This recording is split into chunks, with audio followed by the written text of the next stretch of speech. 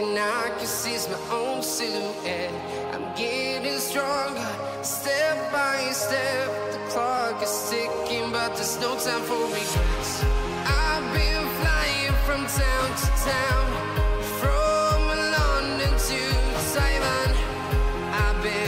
Selamat pagi sobat kicau mania di mana pun kalian berada. Salam peternak burung murai batu Nusantara. Di video kali ini saya akan mengangkat tema ya sobat kicau mania Tentang anakan murai batu yang sesak napas. Nah ini menjadi bahan pertanyaan. Terkadang di kicau mania khususnya peternak burung murai batu Ini kerap sekali menjadi pertanyaan ya sobat kicau mania. Ini sering muncul di beberapa grup peternak Nah, apa itu sesak napas dan apa penyebabnya ya? Jika ini terjadi pada anakan murai batu ya. Pada fase anakan murai batu yang sedang penyesuaian diri. Nah, seperti yang di video ini sobat kicau mania. Mari simak video tonton sampai habis.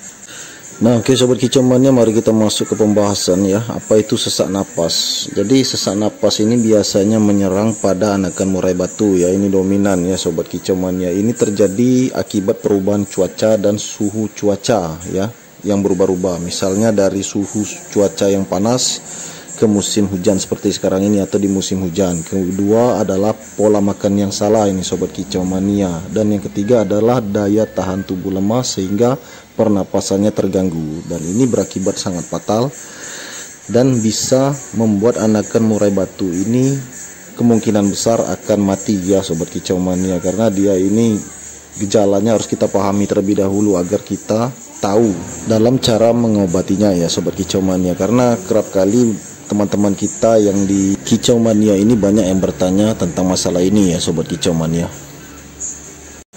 Nah, yang pertama gejalanya ya sobat kicau mania bisa dilihat dari kurangnya nafsu makan ya atau nafsu makan yang menurun ya. Ini gejalanya yang pertama sobat kicau mania. Kemudian dari perilaku anakan murai batu. Terkadang anakan murai batu sakit ini sesak napas yang menunjukkan perilaku yang tidak biasa seperti ia sering diam, kemudian sering menyendiri atau sering memejamkan mata. Nah, itu tanda-tandanya sudah kelihatan sobat kicau mania ya dan kesulitan untuk bernapas. Nah ini kita harus pahami karena kita memang harus sering memantau sobat kicau mania karena ini memang tugas dari seorang penangkar. Kemudian gejalanya kita bisa lihat ya yang ketiga ini kalau badan anakan murai batu ini semakin kurus ya sobat kicau mania dan tidak bersemangat. Nah itu ciri-cirinya sudah kelihatan nah yang selanjutnya yang keempat adalah tubuh anakan murai batu ini akan terlihat lemah sobat kicau mania ya. Ini dikarenakan proses pernapasannya tidak berjalan dengan semestinya atau tidak normal ya sobat kicau mania. Mangap-mangap nah, seperti yang di video ini sobat kicau mania.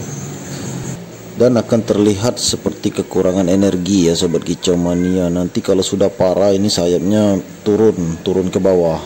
Nah itu kelihatan semakin lemas sobat kicau mania Nah yang terakhir sobat kicau mania ya ciri-ciri atau gejalanya ini akan tampak ya.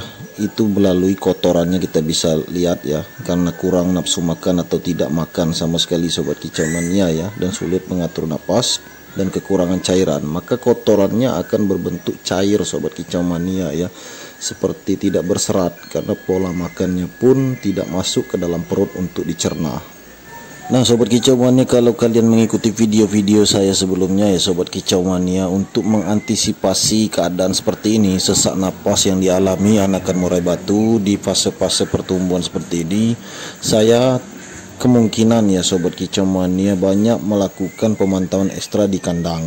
Nah selanjutnya saya akan menangkap anakan murai batu ini Lalu saya memberikan vitamin ya Bisa berupa super N atau Vitacik ada di konten-konten saya yang sebelumnya.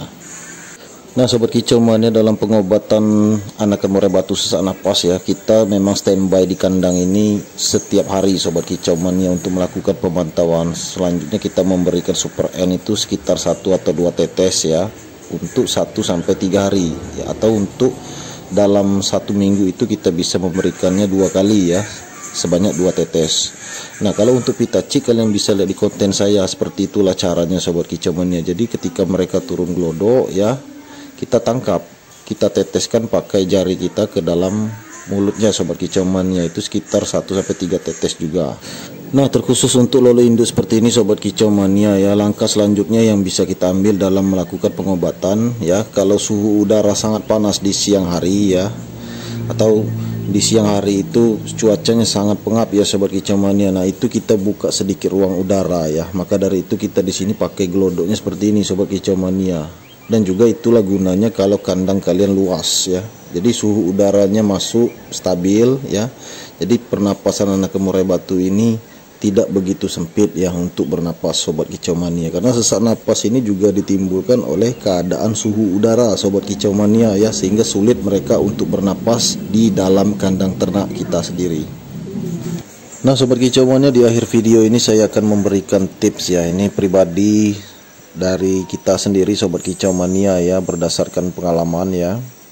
Jika murai batu kalian sesak napas berhasil disembuhkan itu juga berkat kita sendiri yang memantau, mengetahui gejala, kemudian apa penyebabnya serta kerajinan kita di kandang dalam mengobatinya. Terkhusus ini untuk lolo induk ya sobat kicau mania ya. Yaitu tips dari kita adalah kita harus rajin memberikan mereka makanan yang teratur ya sobat kicau mania ya. Pola makannya itu bisa pagi, siang dan sore hari ya sobat kicau mania. Kemudian kalau untuk yang sesudah panen ya kita berikan tambahan di malam hari boleh seperti itu sobat kicau mania atau yang sesudah baru saja kita cabut dari kandang ya panen.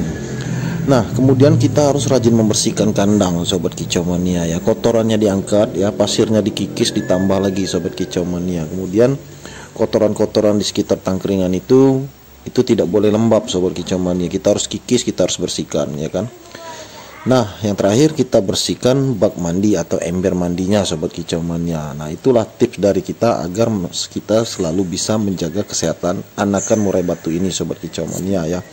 Karena tidak menutup kemungkinan ya ini semua kembali pada rezeki ya sobat kicau mania. Kalau rezeki kalian ya tentu saja anakan murai batu sesak napas ini tadi bisa diobati.